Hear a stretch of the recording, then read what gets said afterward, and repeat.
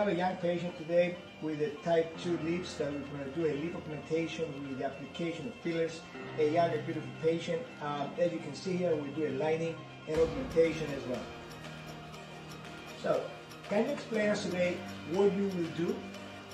So today I'm going to put fillers on both sides, up and down my lips for just to tone and yes. So you had fillers before uh, with us, and you're very happy, right? Yeah, exactly. That's why I'm Dutch. I have been uh, late November, so I was super excited and I want to to keep. Let's do it.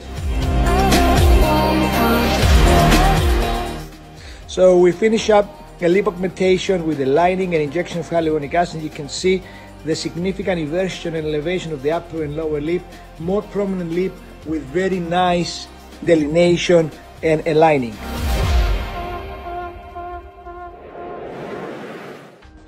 So we finish up with a little documentation. How was your experience? It was great last day, last time. Uh, I great. mean, it's not uh, painful or something.